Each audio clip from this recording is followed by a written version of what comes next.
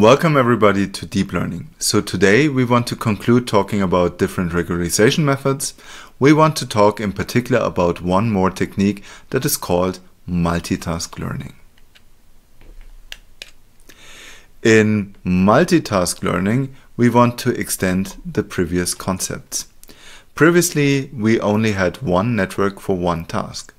Then we had transfer learning to reuse the network. The question is, can we do more? Can we do it in a better way? There are some real world examples. For example, if you learn to play the piano and the violin, then in both tasks you require a good hearing, a sense of rhythm, music notation, and so on. So there are some things that can be shared. Also, soccer and basketball training both require stamina, speed, body awareness, and body eye coordination. So if you learn the one, then you typically also have benefits for the other.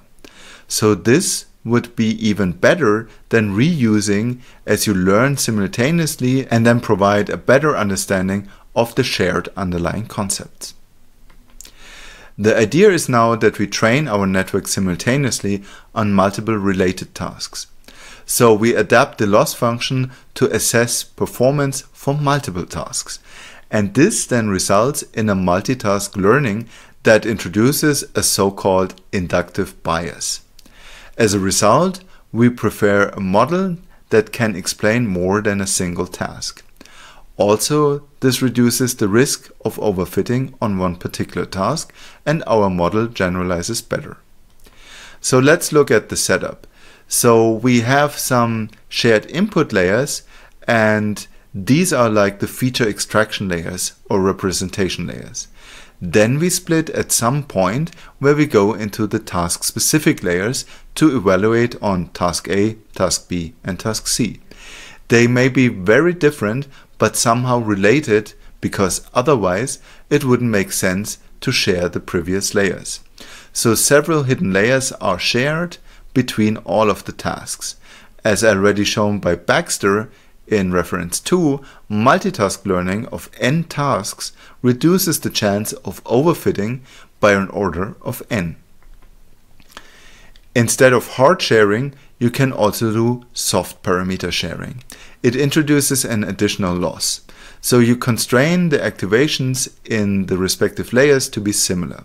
Hence, each model has its own parameters, but we link them together to perform similar yet different extraction steps in the constraint layers.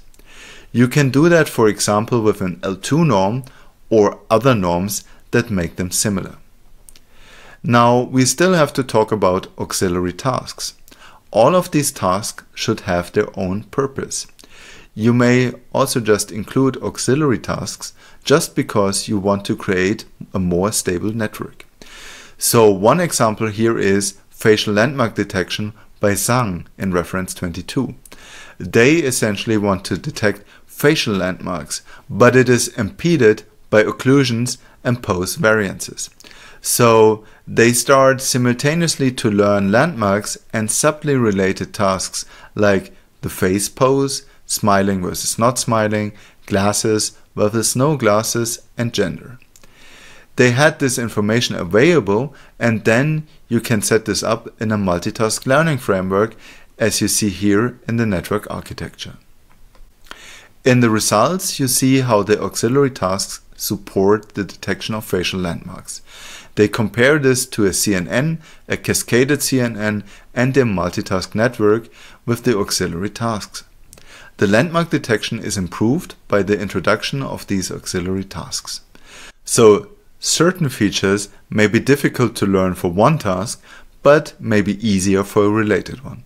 The auxiliary task can help to steer the training in a specific direction and we somehow include prior knowledge by choosing appropriate auxiliary tasks.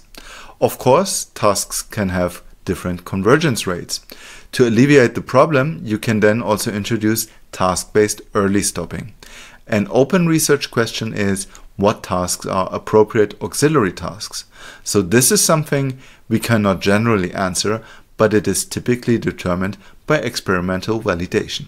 We are happy that it works better than any competing method, but um, that doesn't mean that we, we think we are done.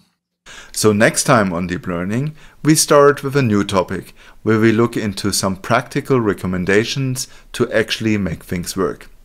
So with all what you've seen already, we are pretty far, but there's a couple of hints that will make your life easier. So I definitely recommend watching the next couple of lectures. We will look into how to evaluate performance and deal with the most common problems that essentially everybody has to face in the beginning. Also, we look at concrete case studies with all the pieces that you've learned until now. I have a couple of comprehensive questions like what is the bias variance trade-off, what is model capacity, describe three techniques to address overfitting, what connects the covariate shift problem and the ReLU, how can we address the covariate shift problem, and so on. I also have some further links which I really recommend to look at, and we have plenty of references for this video.